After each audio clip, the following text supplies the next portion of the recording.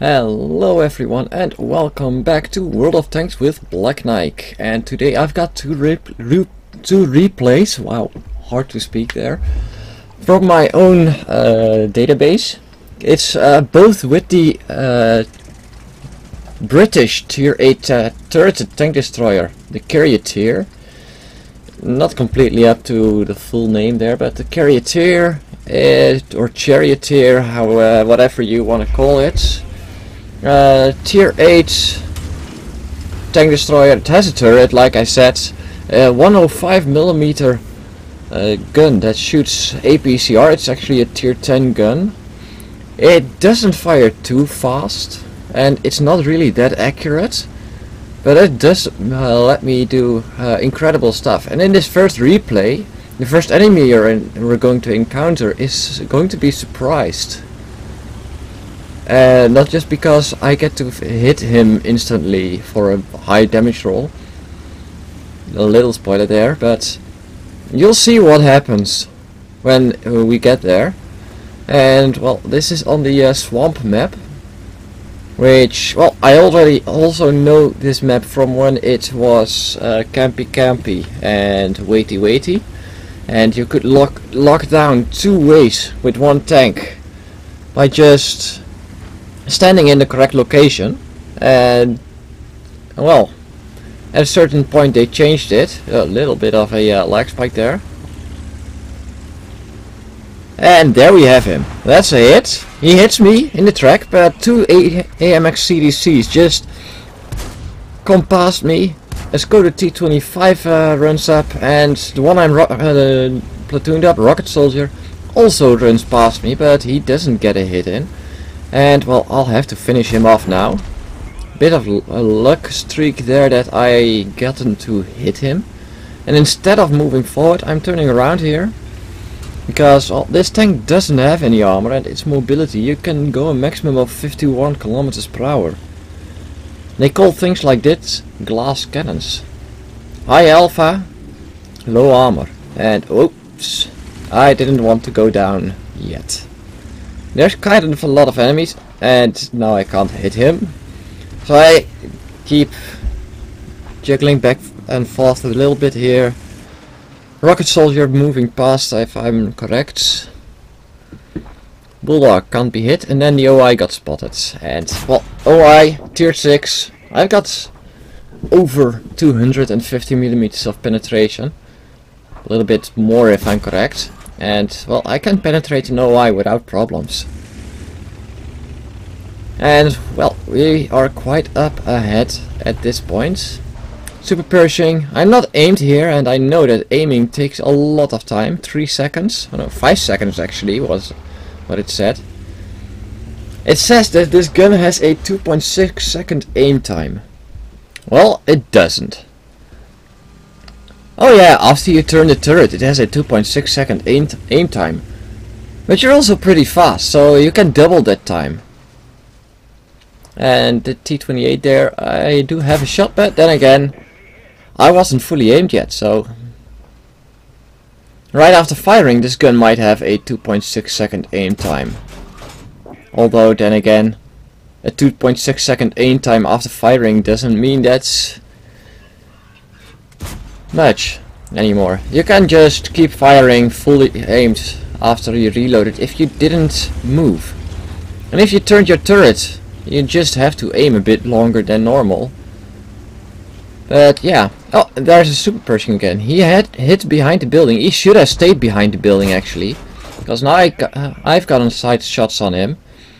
Rocket soldier flanked him, and there's uh, not a T-54 here right in front of me who was uh, shooting him too. He tracked him right before I killed it, so a little bit of assistance damage to him too. Where Rocket Soldier got the spotting damage eventually, I guess. And this game is far from over. The enemy actually pulled the scores back a bit. It's now 8-8.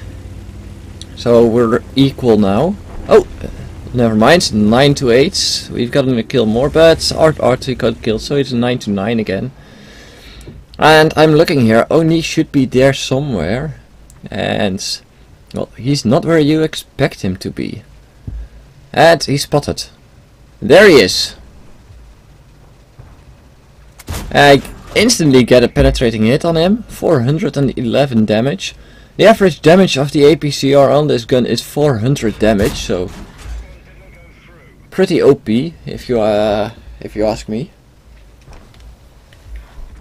And yeah, that's the Oni down. 10 to 9.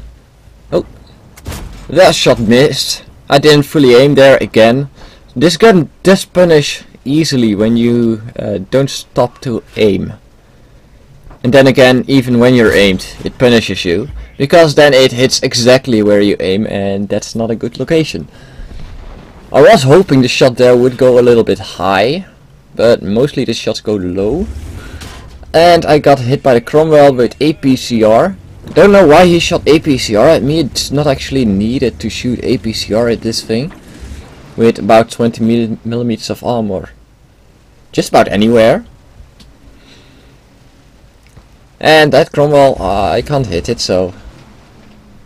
Let's sit there.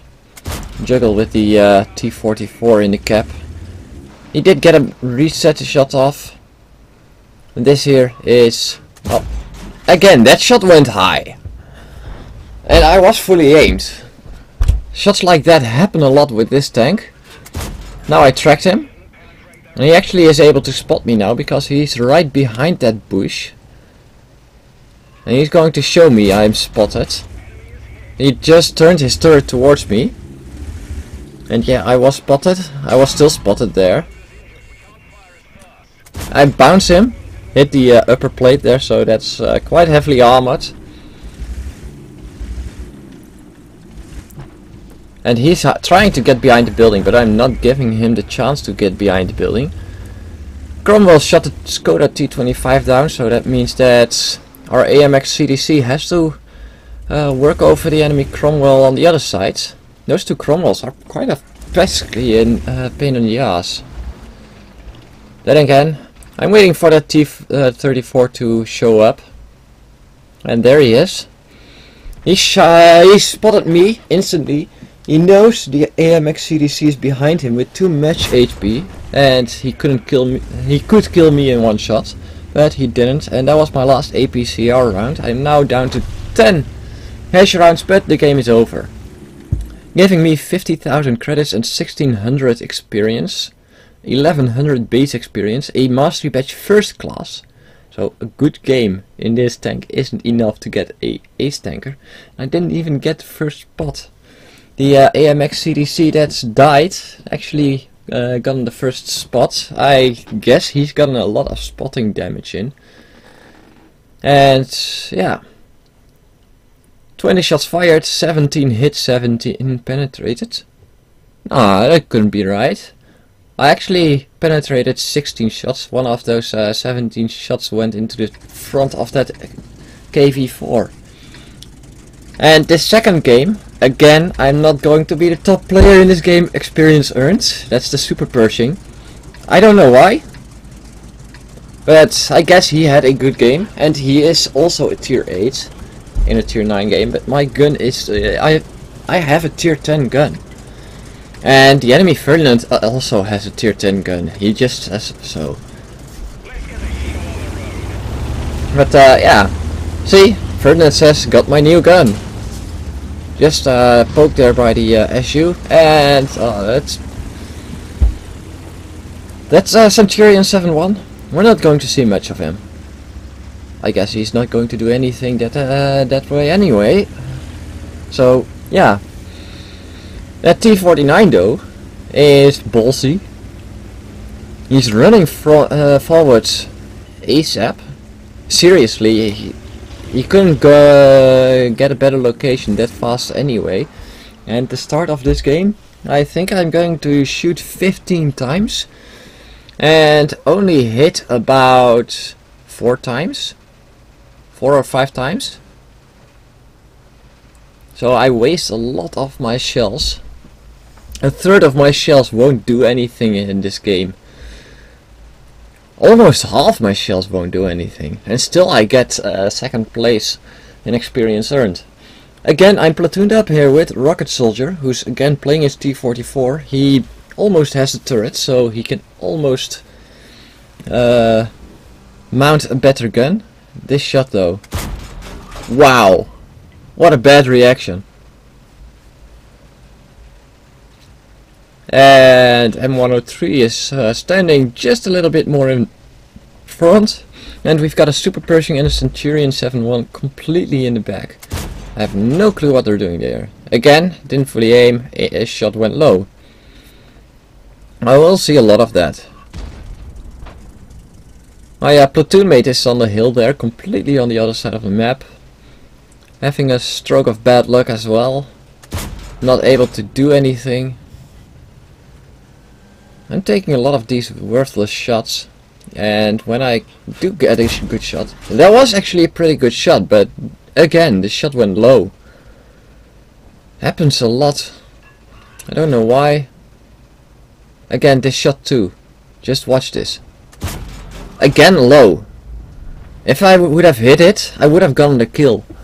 Because there were two shots like uh, 200 damage or so. And the average damage of my gun is 400 damage. And then finally, I get to hit shot. Took me about uh, 8 shots or so, I guess. At least I fired too much and did too little in this whole game so far. But the M103 is keeping the scores up at this point. He's got the only two kills of the team actually. At uh, T44 and a Type 64. And a second shot that hits, finally. I'm taking a bit more time to aim at that one because he's not going to pull back that fast. And my platoon mate, uh, he ran down from the hill. He knew he couldn't do anything there. Again, a bad shot. I just felt like I had to try those uh, some of those shots because, well, if you get to hit them, you get to do some damage on the enemy that's uh, valuable in this game, on this map. Oh, Borsig overextending himself. He doesn't have the armor to get to be in that position. Again, I don't know where that shot went, but it completely missed. And another shot that went low, straight into the ground. While I almost had my whole aiming circle on him. There's that Borsig again. He hasn't fired yet, so finishing him off. Make sure he can't fire another shot. This shot though. So much bad luck there. You could call it bad aiming again, but I was aiming pretty good. Oh, I got hit there.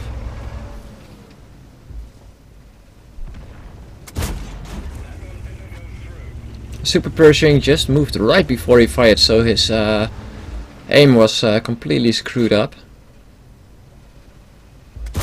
And again, my shot, my shots at this point were horrific. But almost down to uh, my HESH shells though. Ferdinand got spotted. T49 says like, yeah, can you uh, shoot at Ferdinand please? But uh, no, at this point I can't shoot at Ferdinand. I can't see him. First, let's take care of that super Pershing. Finally, I hit it. And then the Jagdtiger uh, shows up. And that's one shot. Straight through his upper plate. Get, let's get behind this building. He's almost within spotting range, so... And another shot straight through his upper plate. And now I'm down to my HESH rounds. And this shot though. How it penetrated, I don't know, but that's just be uh, just above its average in damage. And he disappears. And I shouldn't have taken that shot, but I guess it hit its upper uh, plate again. And only 210 millimeters of penetration aren't going to pen his upper uh, plate. And he gets taken out before I can do anything. There's that WZ-131 again. When the Super Pershing got taken out, he was like, yeah, I'll have to take up that spotting position. We still have the Centurion and the uh, Super Pershing standing there in the back. And I know at this point I have more spotting range than the Super Pershing had. The spotting of the uh, Jagdtiger was, I think, my work. But I could be wrong. The M103 couldn't have could have spotted him too, so that's what might have happened. But well, oh, hold on, no, just not yet. Saying yeah, I can kill a WZ131 if I get a shot here. If he gets spotted again.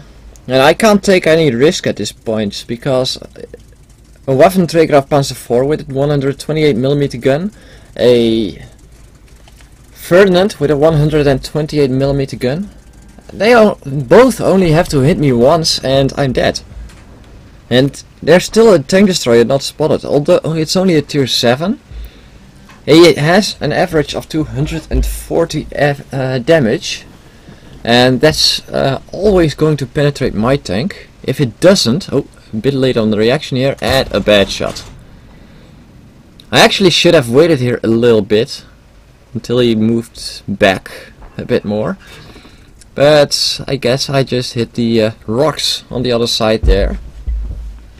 And there's a little rock out there that you can hit when shooting from this side, when they are hiding there. Also, when you're shooting from the hill, you can hit it. And he gets taken out by the Centurion. So we do see something of him, although not much. And there's that Waffenträger again. That Super Pershing actually moved up. And this is one hell of a... Oh, that actually was a low roll.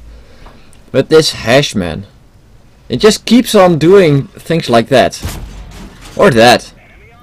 That's a kill. And that's uh, T25 uh, slash 2 actually isn't a bad player, or too bad a player. He does know that if he stays still now, he can spot the Super Pershing a lot sooner than he gets spotted. My platoon mate in T44 is still alive, and well, I'm down to 4 rounds of HESH here. And he knows it, but there's still a Ferdinand on full hit points and a Löwe on full hit points. if I would have hit a lot more shots, I would have done a lot more damage of course. Nope. He got hit from the uh, left side there. T-44 uh, rocket soldier actually managed to hit him. And now we're going to move forward. And I'm going to make a bit of a huge mistake, which cost me about 1000 damage, I guess.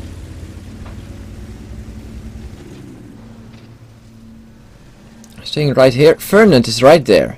And right after this shot, although a very high damage roll, I now should have moved forward at full speed and tried to flank him. Because I'm not going to pen his front that easily with HESH. It's 210 millimeters and he's angled and with the accuracy my gun gave me this game I should have gotten closer. So I'm now out of ammo.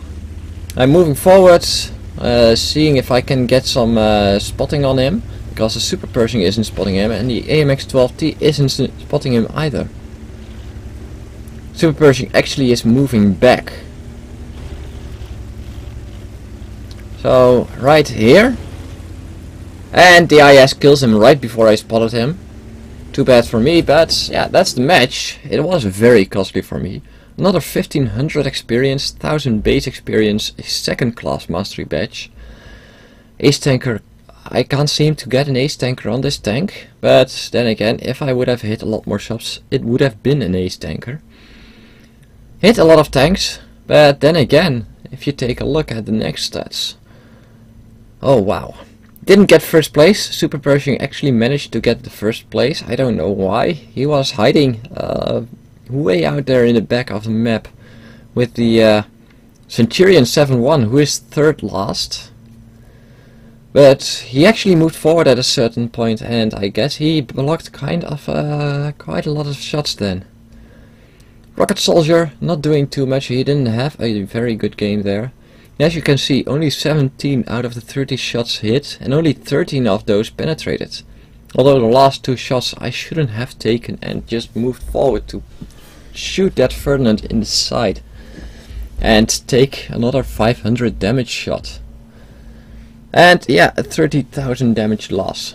So I hope you guys enjoyed this game and I'll see everyone next time.